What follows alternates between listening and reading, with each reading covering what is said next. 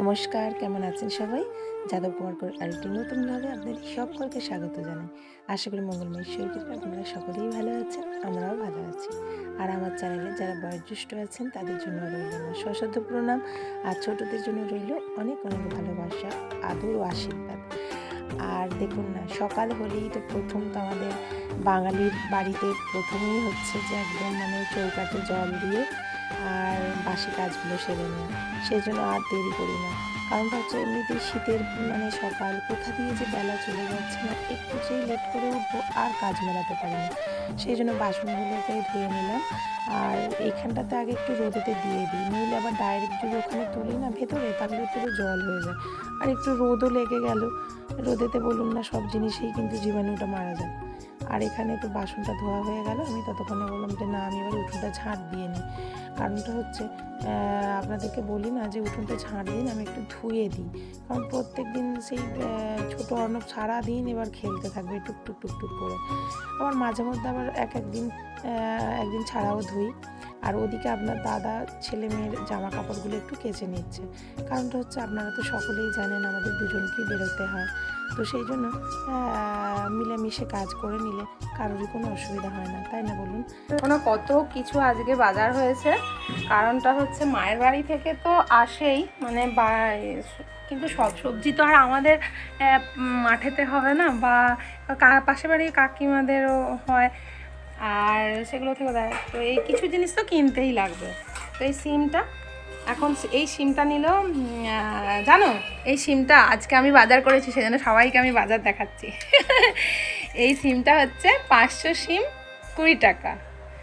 আর দুটো করলা এখানে পেঁয়াজ রসুন এখানে আমলকি এখানে হচ্ছে টমেটো আর এখানে তো মোচাটা দেখালাম। হ্যাঁ হ্যাঁ এই যে আপনাদের ছোটো অন্য বেসে বসে বিক্রি হচ্ছে। এখানে হচ্ছে মোটরশুঁটি তো মোটরশুঁটি হচ্ছে একটু দামটা বেশি।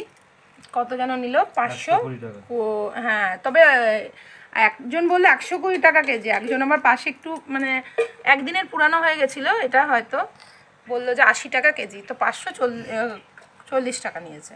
আর এখানে রয়েছে কাঁচা লঙ্কা বেলডাঙার কাঁচা লঙ্কা এখানে একশো গ্রাম ধনে পাতা হলো দশ টাকা। তো এটা আমার এখন অনেক দিন হয়ে যাবে ফ্রিজে লোড করে রেখে দেবো। আর এই যে আর এখানে তো এক কেজি একদম দুধ নিয়ে আজকে আপনার দাদা চলে এসছে। কারণটা হচ্ছে গোপালের ছানা হবে একটু। আর আপনাদের এই যে ছোট্ট আর্নব খাবে। কই, আমার নানি নানি?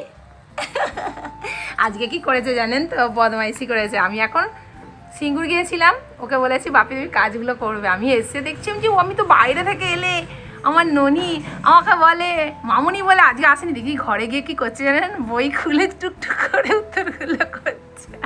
করেছে বাপি নটি বয়ের মতো কাজ করেছে। হ্যাঁ কিনা বলো? বলো বলো। চোখ বড় করে দেখালে হবে না। সত্যি করে বলো। বলো, আর করব না বলো। আর করবে না তো? তো চলুন, এগুলোকে আবার রেখে দিই। নাহলে আবার কোনটা কোন জায়গায় রাখব ভুলেও যাব। এগুলো একটু একটু বাইরে থেকে আগে ধুয়ে নিই। আর এখানে তো ভাতটা প্রায় হয়েই গেছে। আর এখানে আমি এই যে মাংসটা, এই যে কয়েক টুকরো তো মাংস। এই আট পিস মতো হয়েছে। এটাতে আমি একটু নুন, হলুদ মাখিয়ে একটু ম্যারিনেট করতে দিয়েছি।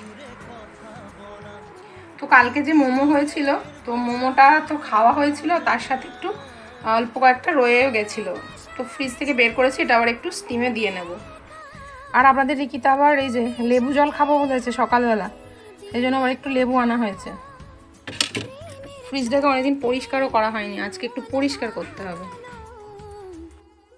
একটু জল গরম বসিয়ে দিয়েছি, আর ছোট অন্নব এখন স্নান করবে। কারণটা হচ্ছে একদম মানে রোদের অতটা আজকে জোর নেই, জল মানে তাতেই নেই। আর আমার তো তার মধ্যে সব সবজিগুলোকে এতে রাখা হয়ে গেছে। মানে পাট পাট করে পলিথিনে করে রেখে দিই মানে ফ্রিজে। আর আবার বিস্কিটের প্যাকেটটা। আপনাদের ছোট অন্য কি করবে জানেন? এক প্যাকেট বিস্কিট, কদিন হবে? আড়াই দিন? মাঝে মাঝে দেড় দিনেও শেষ করে ফেলে। এবার কি বলুন তো? ও কি সবসময় তো আর বাইরে মানে আপনার দাদা, আমি থাকি না। এবার সেই খাওয়ার জন্য এ করবে। এই জন্য আপনার দাদা বলবে, যাই খাক পেটটা তো ভরছে। ওই জন্য আপনার দাদাকে বলছি, স্নানটা করিয়ে দাও। আর আমি দেখুন, এখানে এবার একটু গুছাবো। এই জায়গাটা তারটা জানেন, গুছানো হয়নি অনেকদিন। এবার এখানটাতে পুরো যেই গুছাতে যাচ্ছি, দেখছি ওই কোণেতে একটা বড় যে সর্বনাশ, আমাকে আরেকটু হলে দিতে হবে এই যে কাপড়টা দিয়ে মানে রুমালটা দিয়ে পরিষ্কার করছিলাম এবার কি দিয়ে মারবো তখন আর মাথা কিছু কাজ করছে না মানে অ্যাডিনাল গন্তি থেকে আর কিছু নিঃসরণ হচ্ছে না। তারপর আবার সঙ্গে সঙ্গে একটা ওই নাট বল্টু টাইপের পেলাম, ওটাকে মেরে এ করলাম। এখনও দেখুন, এগুলো পাশে সরি সরি রাখছে, এগুলো এখনও কিছু কিছু এ করব এখনও। এগুলো পরিষ্কার পরিষ্কার আগে করে নিই। আমি এখন কাঠের মানে যেখানে রান্না হয় চলে এসেছি, এই যে রসুনগুলোকে আগে একটু খেতে করে নিচ্ছি। আর একটুখানি আজকে কি করব জানেন তো? লঙ্কা বেটেই করব। মানে কাঠের জালে করলে এত ভালো হয় লঙ্কা মানে বেটে যেটা। মায়ের আগে করতো না? মানে লঙ্কা হলুদ তখন তো মানে এতটা গুঁড়ো লঙ্কার প্রচলন ছিলই না। মায়েরা সব সিলেতে বেটে করতো। সেই তরকারির স্বাদই ছিল সত্যি অন্যরকম। বলুন মানে যতই বাজার থেকে গুঁড়ো লঙ্কা কিনি, তার একটা কেমিক্যাল তো থাকবেই। ওই জন্য আমি কিন্তু যতটা মানে সময় পেলেই কিন্তু ওইরকম ভাবেই করি। চিকেনটা একদম চাপ মানে আমি পুরো চাপিয়েই দিয়েছি। আর শেয়ার করিনি প্রথমে। কারণটা হচ্ছে ওই তো একই জিনিসই তো মানে ফোড়ন দিয়ে দিলাম মানে লবঙ্গ, এলাচ, দারচিনি, আর তার সাথে আজকে দিয়েছি গোটা জিরে। আর একটু তেলেতে একটু চিনি দিয়ে দিয়েছি কালারটা হওয়ার জন্য। কারণটা আপনাদেরকে বলি না, ছোট অর্ণব বলে আলাদা করে কোনো কালার ব্যবহার করি না। আর কতটা ইয়াম্মি দেখতে হয়েছে না। আর আজকে একটু ইউনিক করেছি। আজকে দিয়েছি ছোট ছোট গোল গোল পুরো গোটা গোটা আলু। এই যে। দারুণ হয়েছে বাও পুরো না মানে মশলা থেকে মানে এটা বেশ কষাটা সুন্দর হয়েই গেছে। মশলা থেকে তেলটা দেখুন, বেশ ছেড়ে এসছে। কি সুন্দর একটা স্মেল আসছে। আর এবার এও দিয়ে দিয়েছি মাংসের তুলনায় আলুটা বেশি। কারণটা হচ্ছে, আপনাদের ছোট্ট অর্ণব জানেন? শুধু বলবে, "আম- মামুনি, আমাকে একটা আলু দাও। আমাকে আর গোল গোল আলু দিয়েছি, খুব সুন্দর, দেখুন, দেখতেও লাগছে। তো ভিডিওটা দেখতে থাকুন, আবার পরে দেখা হচ্ছে। ওটা তো মানে পুরো মানে হয়ে গেছে। আর দাদার জন্য রুটি, এই যে টিফিনে রুটি নেবে। এবার ওর টিফিনটা একটু দিয়ে দিই। কারণটা হচ্ছে কি বলুন তো, সাধারণত মানে আমি ওর আগে বেরোই। ফলে ও আমার হাতের সামনে সব কিছুই দিয়ে দেয়। মানে টিফিন, জল সব কিছু গাড়ি বের করে রেডি করে। এবার আমি যেদিন থাকি বলুন, ওর জন্য যদি এইটুকু না করি, তাহলে মানে হাজব্যান্ড ওয়াইফের যে বন্ধনটা থাকল কি? তো আজকে ও বলছে যে আলাদা করে কিছু দিতে হবে না, ওই চিকেনের যে গোটা গোটা আলু আছে না, ওইটাই একটু কারিটা দিয়ে দেবো। আর বাইরেতে সাধারণত ওর জিনিস আপনাদের দাদা জানেন তো মানে ওর এবার একটু পেঁয়াজ, রসুনের মানে বেশি জিনিস ও খেতে পারে না মানে গ্যাস অম্বল মতো হয়ে যায়। তো সেই জন্য অল্প করেই দেবো, কারিটা দেবো না, আলুটাই দেবো। এই যে, পুরো এখানে দিয়ে দিয়েছি। আর প্রচুর গরম আছে। একটু পাখা চালিয়ে দিই। বাপি, তোমার স্নান হয়ে গেছে তো? তো এখানে একটু পাখাটা চালিয়ে দেব। ঠান্ডা হোক। আর এই যে, আপনাদের ছোট্ট অর্ণব একদম স্নান করে বাবুর সাহেব হয়ে গেছে। দেখুন না, রান্নাবান্না তো কমপ্লিট হয়ে গেল। এবার এই যে একটু স্কচ ব্রাইট দিয়ে দিয়ে একটু ভালো করে গাগুলোকে আগে রোগড়ে নিচ্ছি। তারপরে গিয়ে একটু ধুয়ে নেব। তার মাঝে রান্না বান্না মিটে গেছে। এবার গ্যাসটাকে একটু পরিষ্কার করে নেব।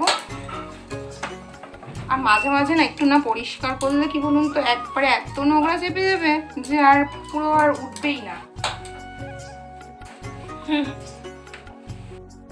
আমরা এখন কোথায় যাচ্ছি? হ্যাঁ সিঙ্গি যাচ্ছি কেন বলো তো? এইটা এইটা নথিপুরে তারপরে হ্যাঁ হ্যাঁ হ্যাঁ আর। তো বন্ধুরা আমি এখন তো বসে আছি। কারণটা হচ্ছে আমাদের রিকিতা বলে দিয়েছে যে মামনি আজকে আনতে যাবে।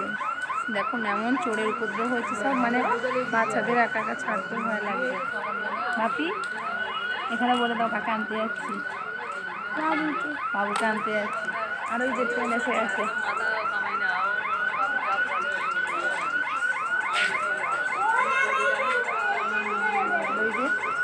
ডাউনে ট্রেন ঢুকে গেছে এবার আপের ট্রেনে নেই আমরা উঠবো Yes. ট্রেন এসে গেছে এবার তো আমরা উঠবো।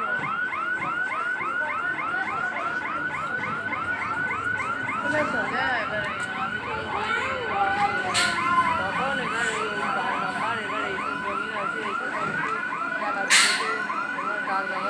A few moments later. তো বন্ধুরা বাড়ি ফিরে তো মানে খাওয়া দাওয়া হয়ে গেল। আর একদম ভালো লাগছে না রিকিতাকে বললাম, তুই বিছানাটা বাবু করে নে। তো করে, বললে কিন্তু করে। তো আজকের ভিডিওটা কেমন লাগল অবশ্যই কমেন্ট করে জানাবেন চ্যানেলে নতুন বন্ধু হয়ে থাকলে সাবস্ক্রাইব করার জন্য অনুরোধ রইল। আবার নেক্সট ভিডিওতে দেখা